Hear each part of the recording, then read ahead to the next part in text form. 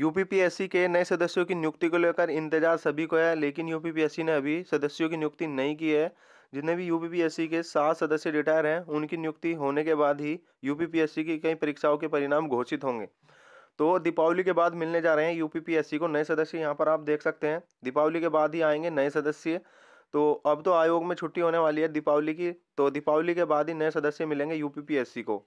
इन सदस्यों के इंतज़ार में यूपीपीएससी की कई परीक्षाएँ फंसी हुई है। यहाँ पर आप देख सकते हैं, सदस्यों के इंतज़ार में फंसी यूपीपीएससी की कई परीक्षाएँ। इतने ये यूपीपीएससी के सदस्य नियुक्त नहीं होते हैं, इतने कोई भी परीक्षा का परिणाम घोषित नहीं होगा। तो ये न्यूज़ है यूपीपीएससी के नए सदस्यों को लेकर। तो फ्रेंड्स से पहले यदि आप चैनल पर नए हैं और विज़िट कर रहे हैं तो चैनल को सब्सक्राइब कर लीजिएगा। वीडियो के नीचे एक रेड कलर में सब्सक्राइब लिखा होगा। इस पर क्लिक करना, उसके साइड में एक बेल आइकन आएगा। उसको ज़रूर क्लिक करना वीडियो के नोटिफिकेशन पाने के लिए। तो फ्रेंड्स यूपीपीएससी की परीक्षाओं से संबंधित लेटेस्ट न्यूज़ सबसे पहले मिलती है इसी चैनल पर। तो सब्सक्राइब ज़रूर कर लीजिएगा। तो यूपीपीएससी के जो सदस्य रिटायर हो चुके हैं, वह दीपावली के बाद मिलने जा रहे हैं, जो नए सदस्य हैं। तो शासन में उत्तर प्रदेश लोक सेवा आयोग यूपीपीएससी में नए सदस्यों की नियुक्ति अब तक नहीं की गई है। इन नियुक्तियों की प्रक्रिया चार माह पहले जो आवेदन था इन नियुक्तियों के लिए, वह चार माह पहले पूरे हो चुका था। शासन में इस लापरवाही के आयोग से सभी बड़ी परीक्षाओं की, फंसी हुई हैं। इस लापरवाही की वजह से जो नियुक्ति नहीं हुई है, सभी परीक्षाएँ फंसी हुई हैं। अब बुधवार से दीपावली की छुट्टी होने के कारण सदस्य नहीं मिल पाएँगे तो दीपावली के बाद ही नए सदस्यों के संबंध में जो आदेश जारी हो सकता है। सदस्यों की दीपावली के बाद ज्वाइनिंग की उम्मीद है।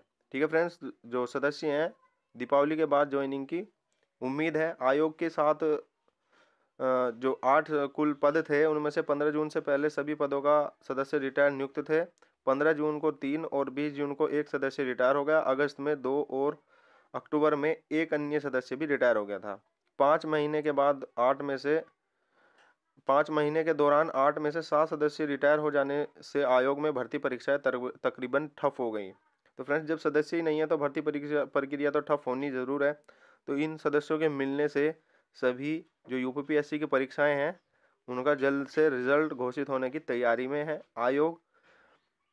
तो नए सदस्यों की जो नियुक्ति है, वह दीपावली के बाद मिलने जा रही है। तो फ्रेंड्स, यहाँ पर आप देख सकते हैं तो दीपावली के बाद ही नए सदस्य आएँगे यूपीपीएससी में और तभी जो यूपीपीएससी की परीक्षाएँ फंसी हुई हैं, उनका रिज़ल्ट घोषित होगा। तो ये न्यूज़ यूपीपीएससी की तरफ़ से थी। तो फ्रेंड्स, न्यूज़ अच्छी लगी तो लाइक कीजिएगा, शेयर कीजिएगा और चैनल को सब्सक्राइब ज़रूर कर लीजिएगा। Thanks for watching.